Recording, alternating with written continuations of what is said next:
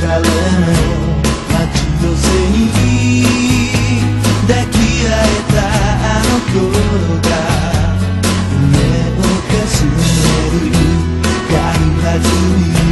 な言葉が時に人を傷つけたそして君は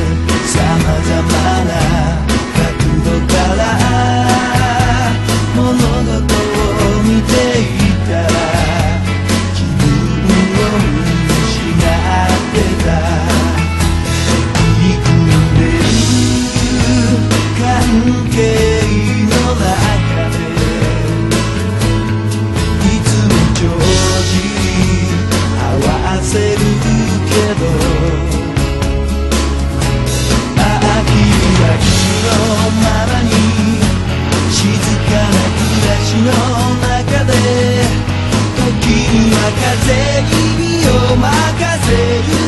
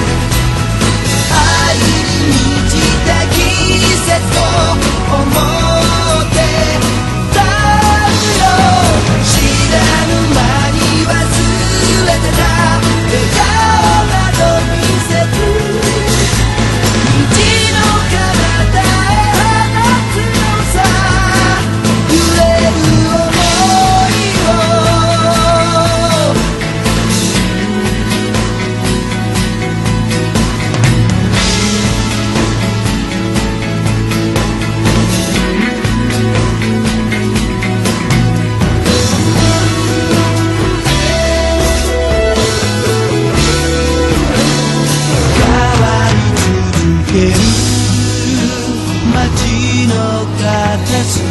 で夢のかけらが生まれてくる、今にもそして僕はこのままでかすかな光を胸に明日も進んでいくつもりだ。